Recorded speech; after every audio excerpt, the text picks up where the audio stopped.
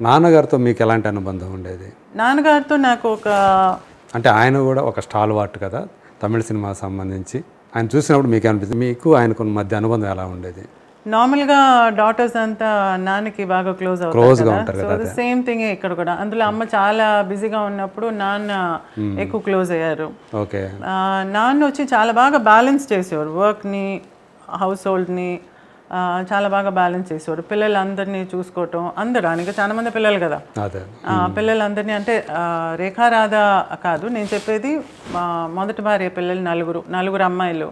ఇక్కడ మేమిద్దరు నేను తమ్ముడు. మ్మ్. మా చదువులు కానీ ఇవన్నీ ఎలా ఉన్నాయి అనేది చాలా పర్టికులర్గా ఉండేవారు. అందరు బాగా చదువుకోవాలి పైకి రావాలని చెప్పి. ఓకే. అంటే నెగ్లెక్ట్ చేయలేదు మమ్మల్ని.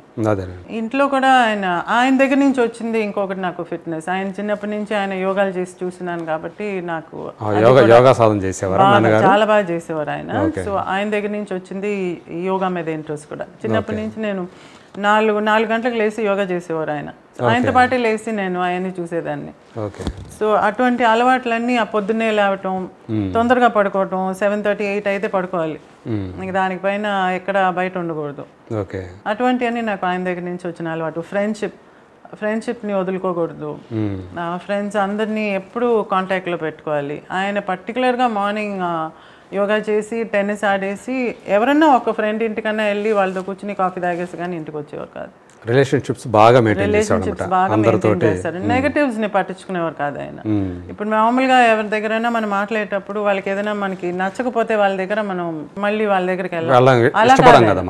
ఆ, ఆయన క్యారెక్టర్ అది అంతే అన్నట్టుగా ఆయన. చాలా మ్యాటర్ ఆఫ్ ఫ్యాక్ట్గా ఉంటారు ఆయన. తేలిగ్గా తీసేసుకుంటారు అమ్మ అలా కాదు. నచ్చలేదంటే నచ్చలేదు అంతే ఆమె ఎక్కువ మైండ్కి అందులో ఎక్కువ మొహం మీద చెప్పేస్తుంది. ఏదైనా నచ్చలేదా? మొహం మీద చెప్పేస్తుంది. నాన్న అనేవారు నీకు డిప్లొమసీ తెలియదు నీకు అసలు. ఏదైనా నచ్చకపోతే అలా మొహం మీద చెప్పేస్తారా? అలా చెప్పకూడదు అని చెప్పేసి. ఆ విషయంలో నేను నాన్నని ఫాలో చేస్తాను. ఇద్దరు వ్యతిరేకం అనమాట ఆ విషయంలో ఇద్దరు ఒకరికొకరు ఇద్దరు. అమ్మ నుంచి మీరు నేర్చుకున్న విషయాలు ఏమన్నా ఉన్నాయా? హార్డ్ వర్క్ అండి. హార్డ్ వర్క్ ఎందులోనైనా దిగామంటే అది ఒక స్టడీస్ కానివ్వండి. నా ఒక ఆర్ట్ ఫామ్ కానివ్వండి దిగితే కంప్లీట్గా దానిలో కాన్సన్ట్రేటెడ్గా ఏదో పై పైన చేసి వదిలేకూడదు. కాన్సన్ట్రేషన్ దాని మీద ఫోకస్ చేసి ఇంట్రెస్ట్తో ప్యాషన్తో చేయాలి. అది నేను అమ్మ తన వర్క్లో చూస్తున్నాను నేను. పర్ఫెక్షన్ ఇస్తాను. సో అది హార్డ్ వర్క్ చేయటం ప్యాషనెట్గా చేయటం తనకి ఇష్టమైన దాని మీద ఇంట్రెస్ట్ పెట్టి చేయటం అటువంటి నేను అమ్మ దగ్గర నేర్చుకుంది. అండ్ అందరినీ కలుపుకోలుగా చూసుకోవడం చిన్న పెద్ద అని లేకుండా. నేను చెప్పేది ఏజ్ కాదు. అంటే ఇంట్లో పనులతో ఎలా ఉంటుందో బయట అందరితో కాస్ట్ డిఫరెన్సెస్ లేదు హైరాకీ డిఫరెన్స్ లేదు అంటే వాళ్ళు చాలా పెద్ద ఫ్యామిలీ నుంచి వచ్చారు కాబట్టి వాళ్ళ దగ్గర ఇలా ఉండాలి వీళ్ళు చిన్నోళ్ళు కాబట్టి ఇలా ఉండాలి అంత లేదు. ఇంట్లో పని వాళ్ళు అందరితో కూర్చుని భోజనం చేసేది ఒకసారి వాళ్ళతో కూర్చొని కార్డ్స్ ఆడేది అది కూడా చూపించారు మహానటులు. ఇంట్లో పని చేసే వాళ్ళందరినీ పిలిచి తక్కువ వీళ్ళు ఎక్కువ అన్నట్టు అది కాకుండా లేదు పనోళ్ళని కూడా మనం బాగా ట్రీట్ చేయాలనేది తను చాలా particular గా ఉండేది. పండుగ అప్పుడు అంతా వాళ్ళకి చాలా బాగా పెట్టడం కాకుండా వాళ్ళతో ఈ కృష్ణ జయంతి లాంటివి వచ్చినప్పుడు ఆ ఉట్టి కట్టి ఆడుకునేదంతా పనోళ్ళందరినీ పెట్టి చేసేది అదంతా. ఓకే. అది నేను అమ్మ దగ్గర నుంచి నేర్చుకుంది. అందరితోటి ప్రేమగా ఉండటం అందరినీ సమానంగా చూడటం అనేది ఒక గొప్ప గుణమే కదా దాన ధర్మాలు. మనకు ఉన్న దానిలో ఇవ్వాలి అనేది కూడా నేను అమ్మ దగ్గర చూసి నేర్చుకుంది అఫ్ కోర్స్ కంట్రోల్తో అదే అదే అదే. కాదు తను కంట్రోల్ అంటే ఎక్కువ చేసేసారు ఎక్కువ చేసేవాళ్ళు. వాళ్ళు ఇవ్వద ఆ, తగ్గవాళ్ళ కాదా అనేది అనలైజ్ చేసేది కాదు. సో అటువంటి నేను తిరిగి ఇస్తారా లేదనేది ఆలోచించేవాళ్ళు కాదనుకుంటా? తిరిగి ఇవ్వటం కాదండి. మనం ఒకరికని ఒక మంచి అంటే అప్పు చాలా మంది అప్పుగా తీసుకునే వాళ్ళు అవన్నీ ఎగ్గొట్టేసే వాళ్ళని కూడా అవును ఎగ్గొట్టేవాళ్ళు. అది ఉంది.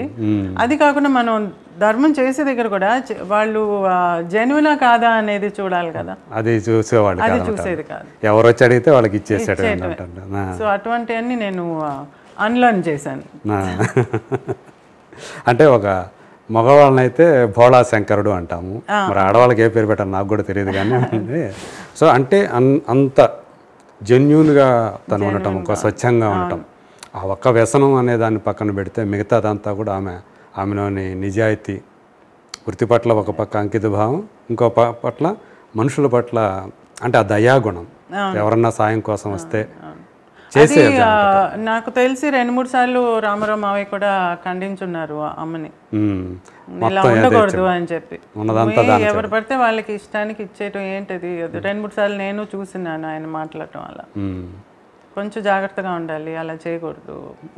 చూసి చేయని చెప్పని ఎవరు ఇప్పుడు అమ్మా నాన్న దగ్గర నుంచి ఇది వచ్చింది ఇది వచ్చింది అని చెప్పుకుంటూ ఉంటారు కదా మామూలుగా నేను అనేది గుణాల సంగతి కాకుండా ఈయన మీకు ఆస్తుల పరంగా కానివ్వండి ఇంకొక పరంగా కానివ్వండి అటువంటి ఏమన్నా ఆ విషయంలో మీకు అసంతృప్తి ఏమన్నా ఉంటుందా?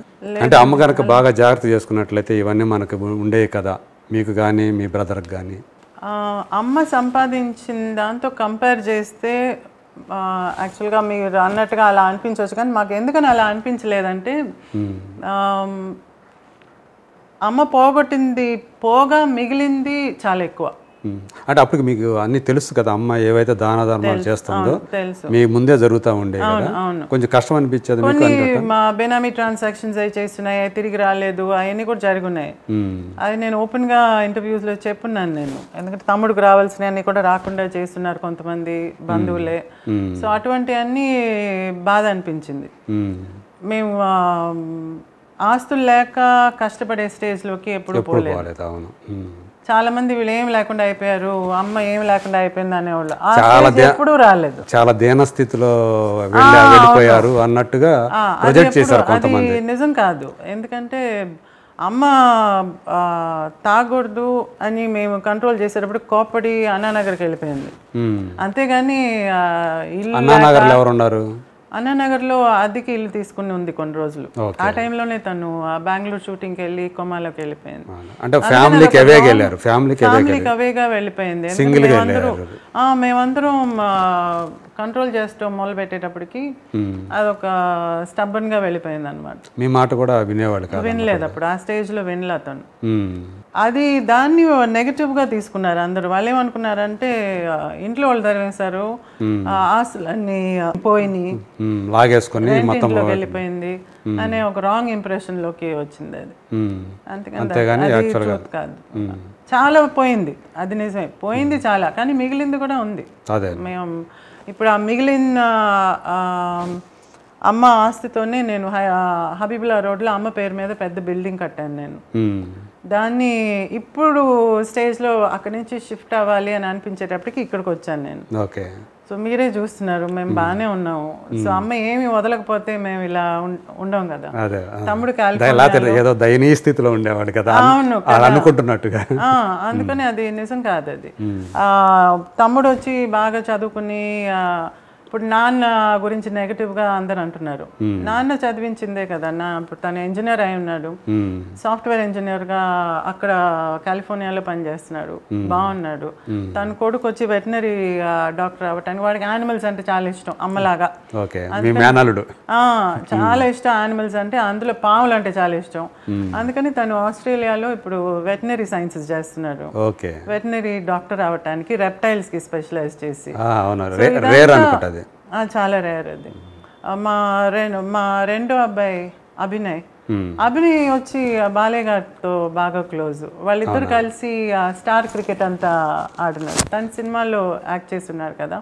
దాసర్ గారు మూవీలో యాక్ట్ చేశారు. ఇక్కడ తమిళ్ళో మ్యాథమెటిషియన్ రామానుజం అనే దానిలో మెయిన్ క్యారెక్టర్ చేశారు. అభినయ్ మేము కూడా చూసాం హైదరాబాద్లో. మిమ్మల్ని కలిసింది కూడా దాసర్ గారి ఆఫీస్లోనే అప్పుడే అప్పుడే అవును అవును